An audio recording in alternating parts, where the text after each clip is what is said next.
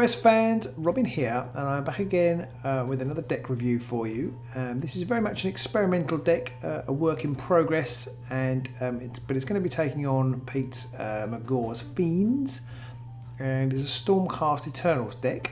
Now, in, while I've been uh, preparing this deck, the uh, Relic Gate has hit, um, and it's not a Relic deck. Uh, but I have tried to take something from it and hope to pick up some glory by not doing very much in the first turn and then beef my Stormcast and, um, and then attack with them. Now, now I'm looking at it again, reviewing it, I'm not sure I've actually managed to do that. But anyway, this is the deck I'm going to be playing with, uh, so we'll have to see how the game goes. So for my objectives, I've got uh, Consecrated Area, uh, Sigmar's Bulwark, Alone in the Darkness. So they're all kind of around uh, not taking any damage, those three. Uh, Alone in the Darkness I've got to be separate, but Consecrated Area and Sigmar's uh, Bulwark I have to not take damage. Blooded, which is almost the opposite of the previous cards. Change of Tactics could be handy for uh, putting people on guard and such like and then charging. Defensive Strike, Escalation, Massive Assault, I think the Stormcast can score Massive Assault uh, once they get up and running. That's what I'll be hoping for. Master of War, pretty standard card these days. Uh, Master Stroke, again, I've got some ploys and things to, to take extra damage. Hopefully I can score that. Uh, Ploy Master, kind of standard fallback card really, and Scent of Victory. And uh, and so Scent of Victory and so Scent of Victory and Blooded are in there really uh, to try and uh, capitalise on Shard Gale, which is in there. They're kind of against go against Bulwark, uh, but hopefully I can score both uh, during the game. Uh, will be will be nice. And I've also stuck in defensive strike because I'm hoping to lure Pete deep down into my half and then take somebody out down there. That's what I'll be going for anyway.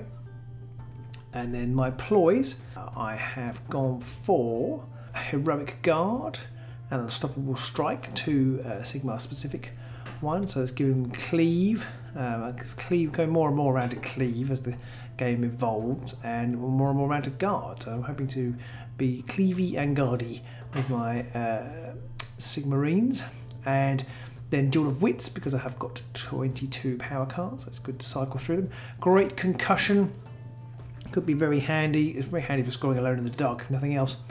Healing potion because I think I'm going to take some damage with this warband setup, so I want to try and uh, mitigate that. Inspiration strikes because frankly an inspired Stormcast is much better than an uninspired one. My turn again can be useful uh, to push up an attack. I'm trying to get as many attacks in as I possibly can. This is also why ready for action is in there. And then Shard Gale to really take some damage out. Could really do some damage to Pete, I hope. It's a little bit uh, of a double-edged sword as we know, but I've put it in there. Um, so hopefully it'll work in my favour. Trap, because I'm hoping to do some some damage and then push back, and Garrett could find Trap very useful indeed. And Twist the Knife, again, because for somebody like Angharad with three dice, it's a really handy card to have. I can put off Twist, and Knife, and Trap at the same turn. Um, she deals four damage uh, out the blocks, which would be pretty handy. Upgrades.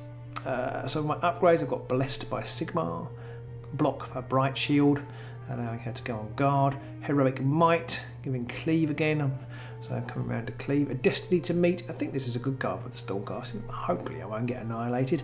And I can play it on one of my surviving fighters at the end of the game. Awakened Weapon, uh, always handy. Concealed Weapon again handy. I'm going to do some up close and personal damage. A concealed weapon could be very useful. Great Fortitude, great strength and incredible strength, all for obvious reasons really. Soul Trap, because I do like it as a card, I say I've come around to that in the past and never really saw the point of it, the 50-50 thing, but it really does make your opponent think twice about who they attack, because they may actually do absolutely nothing to them when they've attacked them. And finally, Trusted Defender, uh, because uh, I'm going to be taking some hits as well as dishing them out, I imagine. So those are my cards. It's not a very uh, exciting deck. We're a little bit worried it's glory light. There's not very many heavy glory cards in there. Hopefully I can do some damage to uh, mitigate that.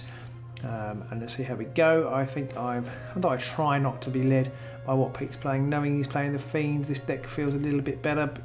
I'm not sure how well it would do against a fast-moving troop, but like I said, it's a, it's a work in progress. I, you know, we need to evolve. I need to evolve my evolve my game as I go and uh, it's nice to, to, sort of start from the beginning. I'd like to make a killer deck from the from the from the word go, but these things take time.